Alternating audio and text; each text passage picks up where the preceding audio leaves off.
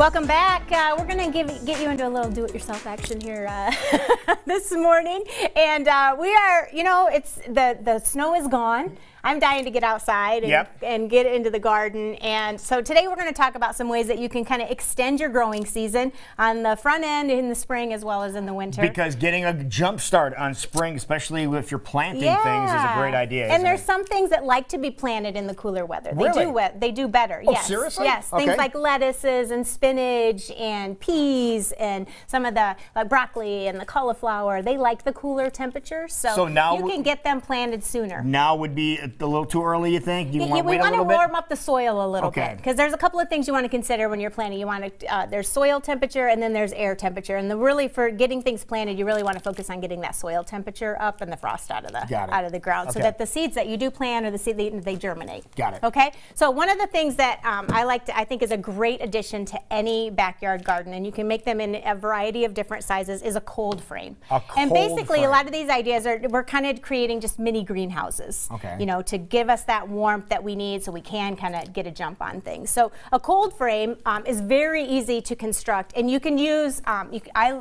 use old windows. Old windows. Yes, reclaim windows. So if you see somebody tearing a house down- sizes, Yep, Mhm. save those windows.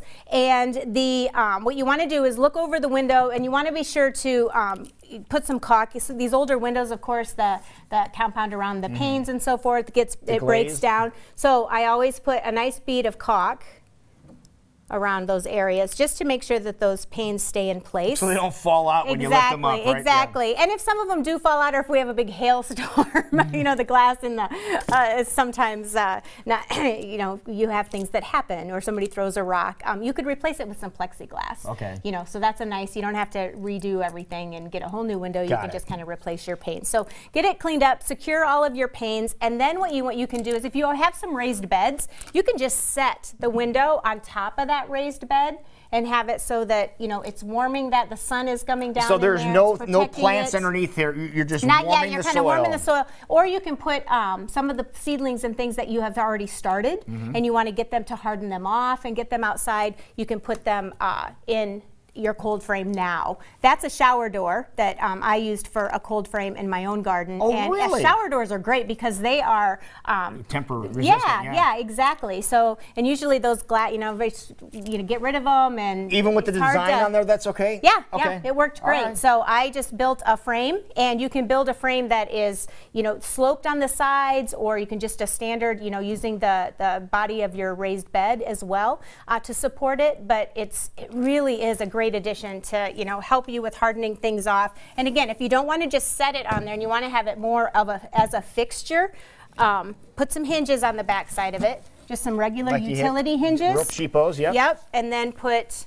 and then secure it right to the framing that you build. And you could build these, you know, a little bit higher, of course. This is just for demo purposes, it's a little shy because you want room for your plants. Okay, now how long are you up. keeping these on? Obviously, you don't keep them on your bed on your uh, plants when they're growing high enough to reach the top No, of the this is really but early. how long? you can get early plantings, put your seedlings in here to harden off. Uh, So you just want to several weeks or a month? Yeah, and watch the ventilation Right. as well. So, So it if it's a really hot day, you know, prop it up so that you can get some air inside there so it doesn't, yeah, cook them. Mm-hmm. exactly. So this is really a great way to extend your growing season. You can get out there earlier. It also extends it into the winter months. Um, you can put some things in there that like the cooler weather. Right. And you're still going to be able to give them that heat. Uh, And probably keep some of the moisture in there too if you have a top yep. on there. so- Great, great dish. And easy, easy, easy to build, easy Piece construction. Okay, Exactly. perfect. Another way um, to do that is the raised beds that you have, you can create um, row, floating row hoop covers. Hoop and- covers. Yes. So this is um, some plastic tubing that you can get at any home improvement store. And you Right. can get it in Like a variety tubes. of Yep, mhm. sizes. Yep. And then I have some garden stakes. And these are just regular With the little uh, notches on Yep, the end. and Yeah, I just regular cut these down. yeah, I cut these down to the length that I wanted. And what you do is you'll put this in your garden bed, and I you get it so that it goes over.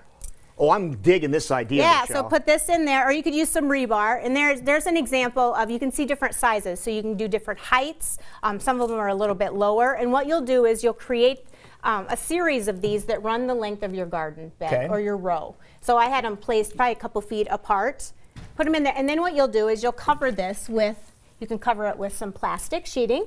You can also uh, get it's a more fibrous type of a material, Right. and then the water will go through it and so forth. So is this a mainly for really- shade, or a what's this great, Nope, this is a great way to um, protect them from the wind. It also helps maintain that heat that's inside. It It's- will? Yeah, so you're again, you're just creating that mini greenhouse effect, and you can get things out into the garden. You're protecting it, you know, from the strong winds and so forth. But in the summertime, it's also um, it, you can put the black cloth over the top of it, Yeah, that's and that's going to one? create yes. And again, the water will penetrate through there. But um, then you, if you have some things that they're getting burned up, it's too hot. Right. It's a nice 'Cause there's some to- areas that are you can totally shade- You exposed can to the shade some sun. things, and these are easy to install. Remove. I really like this. I in the hadn't garden. seen You're this not having to really work around And how are you how are you securing this onto here? Then I just use some clips. You can use some clamps.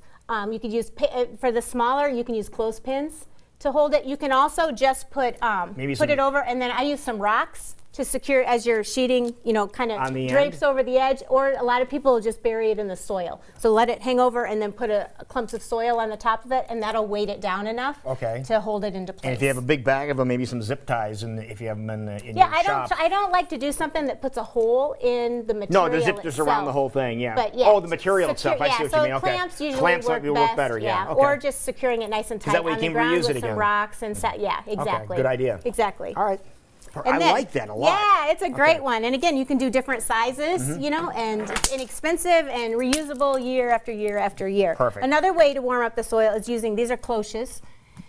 They look like jars They to me. are, I know. Okay. And what they, they again, this is going to create kind of that little mini greenhouse effect, and they'll protect your plants. This is more So for this is your- individual. If you have some really specialized plants, um, you it's more for individual plant protection. Okay. That and, and you can use. They have bigger ones. You can makeshift things at home. Upcycle uh, punch bowls. Oh, you know, mason sure. jars. But these these have been around for I think they were invented like 400 years ago. Okay. So it's really an easy way Just to go to your grandma's plants, house. She probably has some of there. these but over there. again, you want to be careful, you know, on when it gets really hot during because you could a lot of times you need that protection Because there's no ventilation in it's so these either. Cool. Yeah, Exactly. okay. So you'll want to prop them up during the day and get, be sure that you get that nice ventilation through there um, and not. But it really does make a difference plants. just by something as simple as this, is covering uh, like a yeah, or starter the plant. milk jug. You've seen where they cut up plastic your uh, milk jugs. Right. That's another way to create a cloche. And the milk plants. jug itself, even though it's not totally clear, it does the same basic Yes, thing. Yes, exactly. It gets that nice and warm and protects them. And from actually, the milk jug has a, a top, so you have a little bit of ventilation Exactly. in case it gets too yeah, warm and it makes too. it easy to water and so forth. That's so, true. Yeah, All right, good, so all these different stuff. Get out there and get started and get one of these built. And again, you can do one that's just small like this too.